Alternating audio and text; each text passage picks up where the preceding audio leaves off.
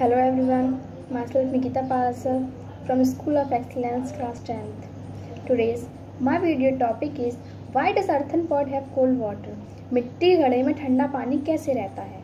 तो चलिए, आज हम जानते हैं किसके पीछे क्या विज्ञान है।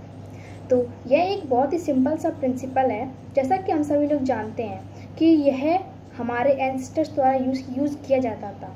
इसका यूज़ पहले ज़्यादा था, लेकिन अब इतना यूज़ नहीं हो पाता है। क्योंकि आजकल तो रेफ्रिजरेटर्स वगैरह आ चुके हैं तो इसका यूज़ नहीं हो पाता है। लेकिन यह हम सभी लोग जान, जानते हैं कि यह एक मिट्टी का बना बर्तन होता है, घड़ा, एक मिट्टी का बना हुआ बर्तन होता है।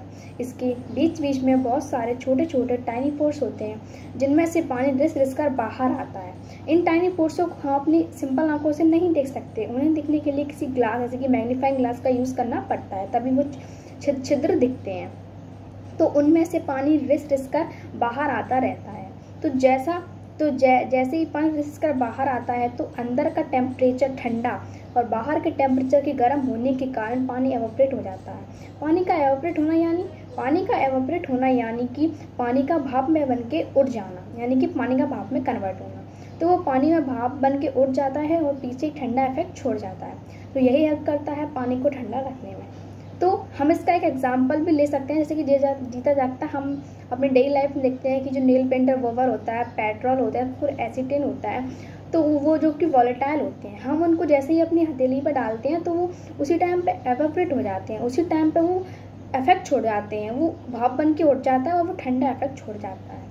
सोचिए, ये तो मात्र एक बूंद है, लेकिन हमारा घड़ा तो पूरा का पूरा पानी से भरा हुआ है।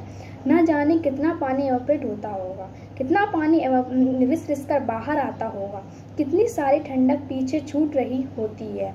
लेकिन पानी एक हद तक की ठंडा हो सकता है, पानी ज़्यादा हद तक ठंडा नहीं हो सकता, क्योंकि एवोप्रेशन भी तो ये एक रेट पर ही होगा, और उसका टेम्परेचर डिफरेंस में भी एक यहाँ पे ये बहुत बड़ा रोल प्ले करता है। तो जैसा कि हम कभी लोग कहने लगते हैं कि जानते हैं कि अब पानी मटका ख़राब हो गया, पानी ठंडा नहीं हो रहा, उसमें घड़ा ख़राब हो गया। तो उसका मतलब ये होता है कि घड़े के जो टाइनी पोर्स होते हैं, वो भर चुके हैं। उनमें से पानी रिस रिस कर बाहर नहीं आ रहा। अब जब पानी रिस रिस कर बाहर नहीं आ रहा है तो पानी ऑपरेट कैसे होगा? इसी कारण से पानी ठंडा नहीं हो पाता है। और यही कारण है, पानी का ठंडा होना और पानी का ठंडा ना होना। Thank you for watching my video